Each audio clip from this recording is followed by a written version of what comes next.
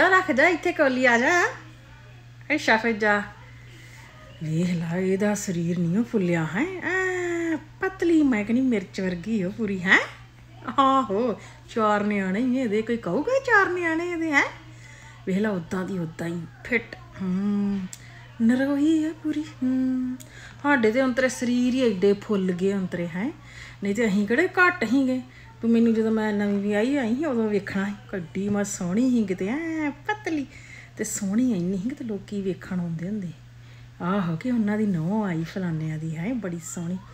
ਆਹ, ਹੁਣ ਤੇ ਬਸ ਆਹ ਕਬੀਲਦਾਰੀਆਂ ਨੇ ਤੇ ਟੈਨਸ਼ਨਾਂ ਨੇ ਖਾ ਲਿਆ ਵਾ। ਆਹ, ਨਹੀਂ ਤੇ ਅਸੀਂ ਮੈਂ ਤੇ ਇਹ ਤੋਂ ਵੀ ਜ਼ਿਆਦਾ ਸੋਹਣੀ ਹੁੰਨੀ ਸੀ। ਤੇ ਹੋਰ ਹੋਰ, ਹੁਣ ਤੇ ਭੈਣ ਸੌ ਕੰਮ ਹੈ। ਆ ਗ੍ਰਸਤੀ ਜੀਵਨ ਵਿੱਚ ਜਦੋਂ ਬੰਦਾ ਪੈ ਜਾਂਦਾ ਨਾ ਫੇਰ ਨਹੀਂ ਉਦਾਂ ਦਾ ਰਹਿੰਦਾ, ਹਾਂ। ਹੂੰ ਹੂੰ ਹੂੰ ਹੂੰ, ਉਹ ਗੱਲ ਨਹੀਂ ਬਣਦੀ ਮੁੜ ਕੇ ਨਾ। ਹੂੰ। ਚੱਲ, ਤੇਰੇ ਸਾਹਮਣੇ ਹੁਣ ਖਾਈਦਾ ਕੀ ਆ? ਕੱਖ ਵੀ ਨਹੀਂ ਹੈ? ਕੋਈ ਏਡਾ ਨਹੀਂ ਖਾਈਦਾ। ਉਂਝ ਹੀ ਸਰੀਰ ਫੁੱਲੀ ਜਾਂਦਾ, ਜਾਨ ਹੈ ਨਹੀਂ ਸਰੀਰ 'ਚ, ਹਾਂ। ਹੂੰ, ਮਾੜਾ ਜਿਹਾ ਕੰਮ ਕਰੋ ਤੇ ਥੱਕ ਜਾਈਦਾ ਹੁੰਦਾ, ਸਾਹ ਚੜ ਜਾਂਦਾ, ਹੈ?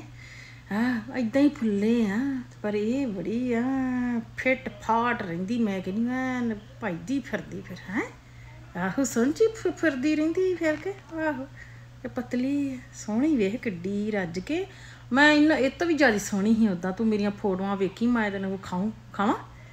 ਨਹੀਂ ਸ਼ੱਬੋ ਉਹ ਫੋਟੋਆਂ ਕੱਢ ਕੇ ਲੈ, ਪੁਰਾਣੀਆਂ ਮੇਰੀਆਂ ਬਲੈਕ ਐਂਡ ਵਾਈਟ ਆਹੋ, ਵਿਖਾਈਏ।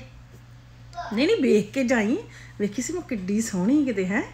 ਆਹੋ ਆਹ ਹੁਣ ਹੀ ਸਰੀਰ ਇਦਾਂ ਦਾ ਹੋ ਗਿਆ ਕਿਤੇ।